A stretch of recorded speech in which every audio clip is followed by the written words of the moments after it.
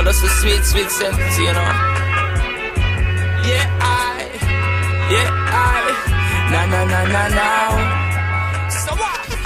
Snoop Dogg is in the is in the highlights right now. If you Google marijuana, you know certain things right now. Snoop Dogg is high up because he's he's bragging that he smoked marijuana in the White House. All right, he's he's probably one of the probably the biggest pothead in America.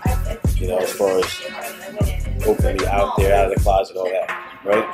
I wonder who he supports. As far as, as far as conscious celebrities out there, you know, how many of these big time rappers are are smoking blunts in every damn rap song, every video, you know. But when it comes to to, to, to, to politics and changing the law, not half of these rappers have been arrested for weed. Most of them have been arrested for weed. Somebody in their crew has been arrested for weed, but they don't donate any money to to get uh, marijuana legal. I think. Come on, how many directors and producers and, and singers and actors and are are, are, are, are total potheads?